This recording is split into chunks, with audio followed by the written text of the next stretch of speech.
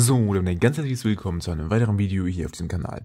Ja, heute sehr wichtiges Video und zwar geht's um den Verkauf von Gold und Silber. Und das ist ein Thema, worüber ich heute wirklich mal ganz ernsthaft mit allen von euch reden muss.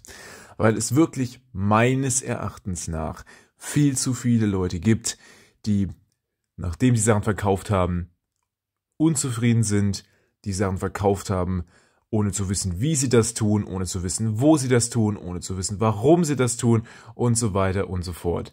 Und das ist eine Thematik, die extrem wichtig ist und mit der man sich eigentlich beschäftigen sollte, bevor man irgendwas kauft. Wie verkaufe ich es irgendwann wieder? Egal was es ist, völlig irrelevant. Egal was man kauft, irgendwann kann der Zeitpunkt kommen, wo man sagt, das würde ich jetzt gerne verkaufen. Wenn ich dann keinen Plan dazu habe, wie und wann und warum ich das tue und wo vor allen Dingen, dann wird es nichts. Ja? Es ist wirklich, wirklich wichtig, dass man sich damit im Vorfeld auseinandersetzt. Im Vorfeld wissen, wo verkaufe ich meine Sachen wieder hin, wenn ich sie mal verkaufen möchte. Ja? Ähm, warum kaufe ich diese Sachen jetzt, wo ich sie gekauft habe, kann ich sie vielleicht daheim wieder zurückverkaufen? Wie funktioniert diese ganze Geschichte? Ja? Was ist unglaublich wichtig? Worauf muss ich achten, wenn ich etwas verkaufen will? Damit ich auch mein Geld wieder bekomme oder zumindest etwas Vergleichbares wie mein Geld. Ja? Super, super wichtige Geschichte, darum soll es heute mal gehen. So, bevor wir uns äh, damit auch gleich weiter beschäftigen, kurzer Blick nochmal auf die Gold- und Silberpreise. Hier an dieser Stelle einmal Silber eingeblendet. Ja, sehr volatil heute, aber hat sich nicht großartig verändert. Beim Gold sieht es ziemlich genau gleich aus. So, so viel an dieser Stelle dazu. Dann werfen wir nochmal einen Blick auf das, was ich hier heute mit habe. Ähm, da habe ich einmal einen Haufen schöne, beziehungsweise in Anführungszeichen schöne, äh, etwas abgegriffene, aber dennoch äh, noch in ansatzweise äh, in Ordnung im Zustand äh, Washington Viertel Dollar, ja, habe ich einen Haufen von, ja, alles Mögliche da, äh, auch natürlich zu erwerben unter besagter E-Mail-Adresse hier an dieser Stelle, äh, ebenso wie diesen wunderschönen Peace-Dollar, den wir ebenfalls noch da haben und auch diese Barber Half Dollars, wirklich recht seltene Münzen, ja, ähm, die in diesem Zustand hier recht günstig zu bekommen sind. Ebenfalls bei dieser E-Mail-Adresse. Wenn ihr den Kanal ein bisschen unterstützen wollt, ähm, gerne da eine Mail hinschreiben und gerne äh, etwas kaufen, beziehungsweise auch einfach nur mal die Preisliste anfragen. Da habe ich auch überhaupt kein Problem mit euch, diese zur Verfügung zu stellen. Versand ist natürlich wie immer ab 100 Euro komplett kostenfrei. Da schenke ich euch die Versandkosten natürlich voll versichert. Und es sind natürlich auch, wenn ihr größere Mengen bestellt, immer Rabatte möglich. So, als letztes habe ich auch noch mitgebracht ein 1 Unzen Silber Maple Leaf. Diese verkaufe ich nicht. Warum? Weil man da wirklich schwer gutes Geld verdienen kann mit im Moment. So, also so viel an dieser Stelle dazu. Sehr, sehr cool, sehr, sehr äh, schön, ja. Ähm, dann wollen wir jetzt mal anfangen mit dem Verkauf von Münzen. Das hat übrigens auch viel mit diesen hier vor uns zu tun, weil das natürlich ganz viele verschiedene Arten von verschiedensten Münzen sind. So, sieht vielleicht nicht so aus, ist aber so, erkläre ich gleich mehr dazu. Also, bevor man jetzt etwas verkaufen möchte, muss man wissen, was das wert ist, was man verkaufen möchte. Wie macht man das am allerbesten? Nun, wenn man niemanden hat, den man fragen kann, so wie zum Beispiel mich, was natürlich alle meine Kunden immer sehr gerne tun dürfen. Wenn man allerdings niemanden hat, den man fragen kann, dann geht man am besten ins Internet und guckt einfach mal ein paar Stunden sich alle möglichen Inserate äh, und Preise an, für die diese Münzen tatsächlich verkauft wurden. Nicht, wofür sie irgendjemand mal auf eBay reingestellt hat, das ist völlig irrelevant. Es geht um den Preis, den man tatsächlich bei einem Verkauf erzielen kann. Dann guckt man sich das also an. Wir nehmen jetzt einfach mal so hier diesen Viertel Dollar. Ja? Äh, der hat jetzt hinten einen kleinen Rostfleck, das ist nicht schlimm, Silber rostet nicht, das hat auf irgendwas gelegen, was gerostet hat. Wahrscheinlich lag es irgendwann mal im Wasser. So, aber ne, dieser Viertel Dollar zum Beispiel ne, hat einen Materialwert von, ich sag jetzt mal grob 3,80. Ne? Materialwert grob 3,80. Ähm, natürlich dadurch, dass es ein sehr, sehr kleines Stück ist, kriegt man den nirgendwo für 3,80. Ja? Äh, kann man total vergessen. So, egal in welchem Zustand. Völlig irrelevant, in dem miesesten Zustand ever kriegst du nicht für 3,80. So, ähm, ich glaube, den günstigsten, den ich mal gesehen habe, wo einer mit einem Messer reingestochen hat, der war irgendwie für 4,90 oder so, habe ich den, glaube ich, irgendwo auf Ebay steigern können. Nicht so wichtig, aber äh, generell, ne, diese Münzen kriegt man natürlich nicht für den Preis, der das Silber daran wert ist. Und das ist schon mal das erste Wichtige, was man wissen sollte. Wenn ich jetzt zu einem Händler gehe, mit dieser Münze hier zum Beispiel, zu irgendeinem Ankauf, vielleicht lokal bei mir, wird er mir wahrscheinlich nicht mal 3,80 geben, weil das natürlich kein feines Silber ist, also kein Feinsilber, ja, 900er. Ähm, es ist natürlich etwas problematisch, diese Münzen tatsächlich einzuschmelzen, weil es naja, Zahlungsmittel der Vereinigten Staaten ist und das eigentlich ein Gesetzesverstoß ist. Natürlich machen die das trotzdem, weil es juckt keinen. Aber äh, wahrscheinlich wird man dafür einen Schmelzpreis bekommen. So. Schmelzpreis habe ich schon mal ein Video drüber gemacht, ist der größte Scam überhaupt. Ja, bitte nicht. Vorsicht. Ne? Also, dieses Stück. 3,80 der Silberwert. Vielleicht kriegt man bei irgendeinem lokalen Silberankauf 3,20 oder so. Ja? Wenn ich das jetzt an diesen, an diesen Silberankauf verkaufe für diesen Preis, dann bin ich wirklich so dumm, wie es nur geht. Also es kann es wirklich nicht anders sagen. Das kann eigentlich nicht sein. Also das ist wirklich keine Ahnung, wie man auf die Idee kommen kann, das zu tun. Bitte, Leute, wenn ihr doch guckt im Internet und ihr seht, ja, diese Münzen werden normalerweise verkauft so zwischen ja, ich sag mal so fünf und sieben Euro je nach Zustand. Ja, wirklich gute, auch bestimmt auch mal äh, mehr als sieben Euro, ja, aber so im Durchschnitt. So. Bei mir sind die 1 Euro, 50 Cent bis 1 Euro teurer, weil ich muss ja auch ein bisschen was dran verdienen. Ne? Ich kaufe die Sachen ja auch nur von privat an. Also zumindest im Moment ähm, größtenteils von privat an. So. Äh, aber jetzt ist diese Geschichte. Und ich teste sie natürlich alle, dass sie echt sind, ja, und äh, sortiere sie nach Zustand und so weiter und so fort. Habt ihr natürlich bei privat auch nicht. Da könnt ihr auch irgendwelchen Fake kaufen. So, also so viel an dieser Stelle äh, kostet natürlich alles auch irgendwas. Aber, ja, ihr guckt euch das an. Und ihr seht, okay, ja, die werden jetzt verkauft für diesen und diesen Preis. Wenn ich das jetzt hier zu irgendeinem Lokalhändler bringe, kriege ich die Hälfte. Was ist denn die logische Konsequenz daraus? Die logische Konsequenz daraus ist meiner Meinung nach nicht zu diesem Händler zurückzugehen und die für diesen Preis zu verkaufen, dass sie am Ende noch zerstört werden oder dass er sie einfach für das Doppelte weiterverkauft. Nein, die logische Konsequenz meines Erachtens nach äh, wäre einfach hinzugehen und die im Internet zu verkaufen, wo sie für diese Preise verkauft werden. Ganz einfach. Ja. So relativ simple Geschichte eigentlich, ne? Ich habe vorher geguckt, das ist diese Sache wert, die ich jetzt verkaufen möchte. Diesen Preis möchte ich auch haben. Ja, und wenn ich den nicht bekomme, dann gucke ich vielleicht, dass ich ein bisschen weniger dafür bekomme, aber nicht die Hälfte. ja, also logische Konsequenz. Vergleicht es mit irgendwas anderem, was den meisten Leuten vielleicht näher liegt. Ihr wollt ein Auto verkaufen. Ihr habt jetzt mal so geguckt, diese Autos verkaufen sich normalerweise, wir nehmen jetzt mal so ein durchschnittliches Auto, vielleicht so einen etwas älteren Golf, diese Autos verkaufen sich durchschnittlich zwischen 8.000 und 12.000 Euro. So. Jetzt wollt ihr das eine Zeit lang verkaufen, habt es vielleicht für 11.000 Euro reingesetzt, weil ihr sagt, ja, meiner ist ja ganz gut, und dann kauft es keiner. Die logische Konsequenz ist nicht, das jetzt zu einem Schrotthändler zu verkaufen, der einem vielleicht noch 3.000, 4.000 Euro dafür gibt. Die logische Konsequenz wäre es einfach, vielleicht 1.000 Euro zu reduzieren. Ja? So. Und dann vielleicht nochmal 1000. Ja, dann hat man immer noch mehr als das Doppelte von dem, was man bei dem Schrotthändler gekriegt hätte. Nicht, dass es irgendwas, irgendwelche Probleme dabei gäbe. Äh, ne? Also ich habe überhaupt nichts dagegen, dass irgendjemand etwas für wenig einkauft, ja, ähm, um es dann für mehr verkaufen zu können. Weil es ist ja keiner gezwungen, an diese Person zu verkaufen. Ja. Mir persönlich steht dieses äh, Geschäftsmodell nicht. Ja, äh, ich zahle lieber gleich im, äh, ne, den Betrag, den ich auch zahlen möchte. Ne? Und dann kann ich mir relativ sicher sein, dass ich mir kein Angebot entgehen lassen habe. Aber manche Leute möchten das nicht so. Und das ist ja auch völlig okay. Ja? Freier Markt und so. Aber man muss eben auch als Verkäufer sagen, okay, dann möchte ich da vielleicht eher nicht verkaufen und verkaufe lieber irgendwo anders hin. Ganz einfach. Ja? Letzten Endes keine schwere Geschichte. Anderes Beispiel.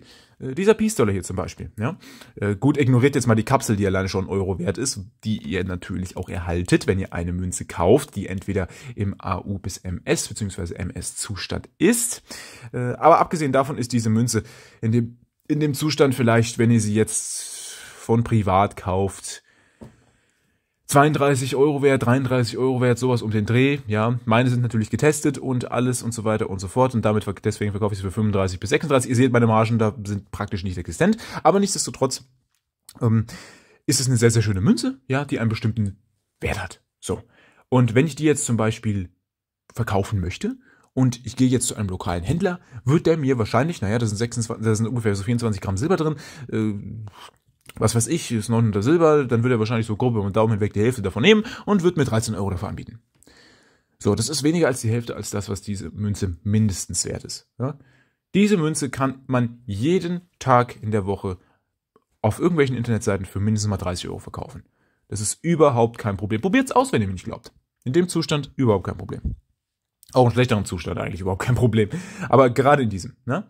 Überhaupt kein Problem. So. Also, wenn ich diese Münze verkaufen möchte, gehe ich vorher ins Internet, gucke mir vorher an, für was wird diese Münze verkauft? Für was werden diese Münzen verkauft? Ihr werdet unglaublich viel Material zu diesen Münzen finden. Ja? Äh, ich würde mal tippen, gerade auf Ebay gehen da wahrscheinlich jeden Tag Tausende von weg. Ja? Äh, also da könnt ihr wirklich sehr, sehr einfach Durchschnittswerte errechnen und so weiter und so fort. Bitte findet es raus, was die Sachen wert sind, bevor ihr sie verkauft. Ganz wichtige Geschichte. So. Wenn ihr natürlich was von mir gekauft habt, könnt ihr das auch wieder an mich zurückkaufen. Wie gesagt, ich muss aber dran etwas verdienen. Das heißt, ich werde euch natürlich nicht das zahlen können, was ihr dafür bezahlt habt. Ich denke mal, das sollte auch irgendwo jedem klar sein. Aber so viel an dieser Stelle dazu.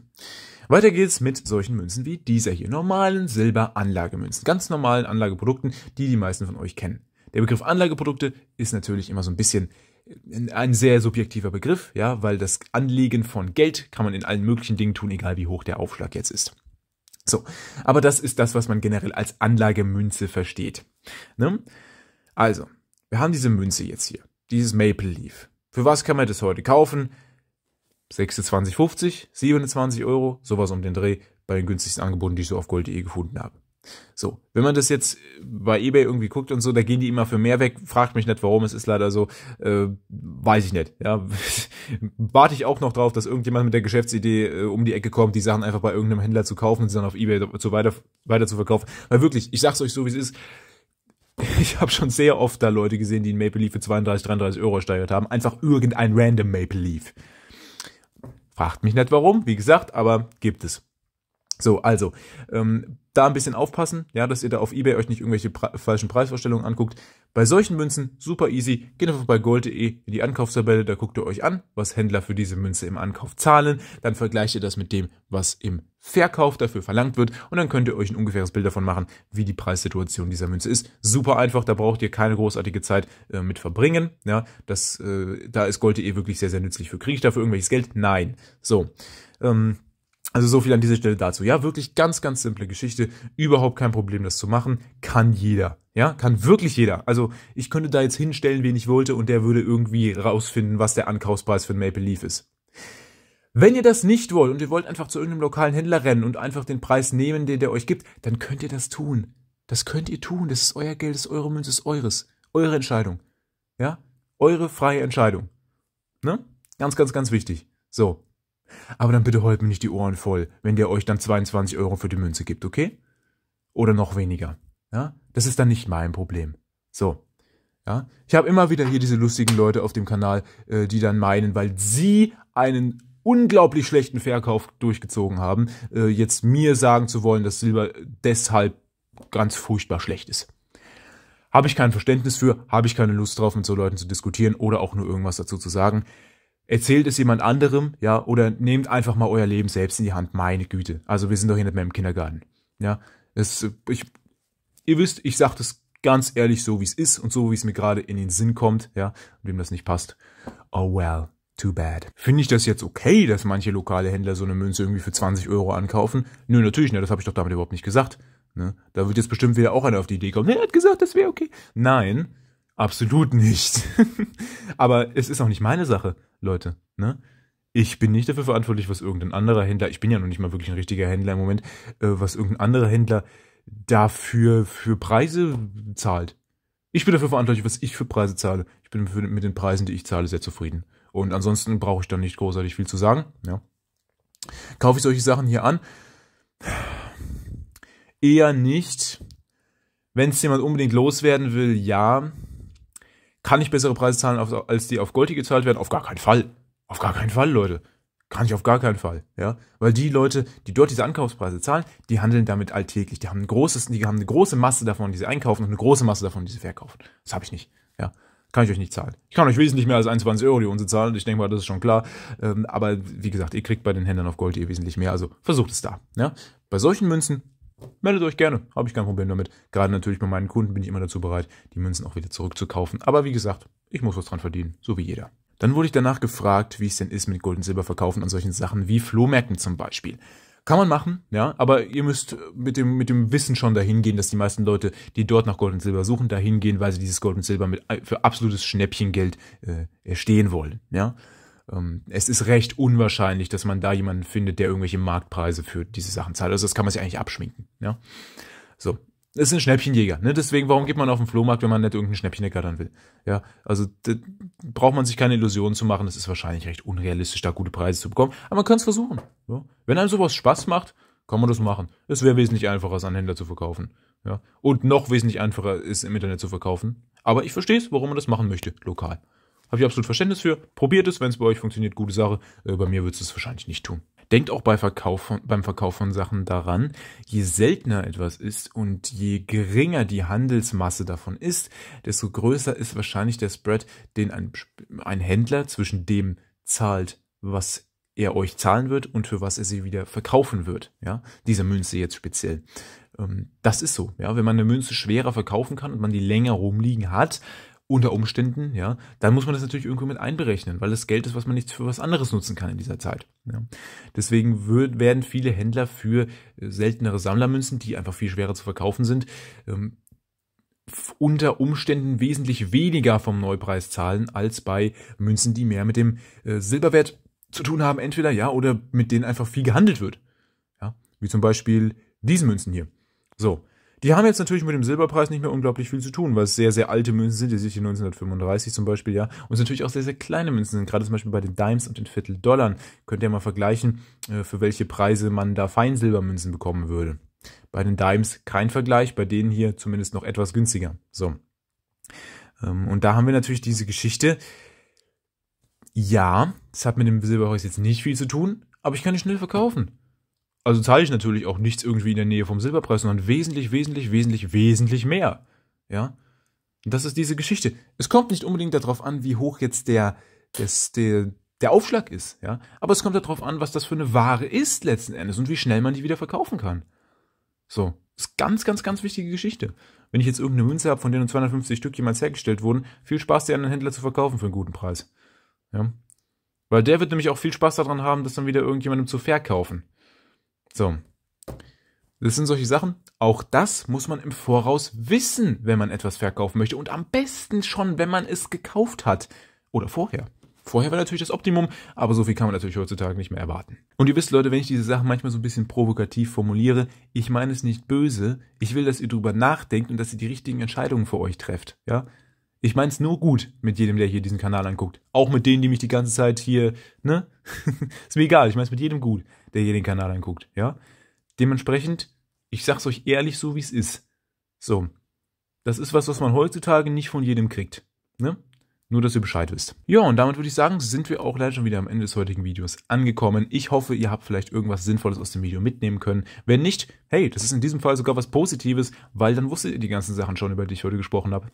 Also, auch eine gute Sache. Damit würde ich sagen, alles, was ihr sonst noch so an Fragen und so weiter habt, gerne in die Kommentare schreiben. Wenn ihr irgendetwas an diesen wunderschönen historischen Münzen aus den USA erstehen möchtet, gerne an diese E-Mail-Adresse schreiben. Ich freue mich wie immer sehr. Super gerne das Video bewerten, das würde mich sehr freuen und auch sehr gerne den Kanal abonnieren, falls ihr keine Videos mehr verpassen möchtet. Dann wünsche ich euch noch eine besonders schöne Woche und bis zum nächsten Mal.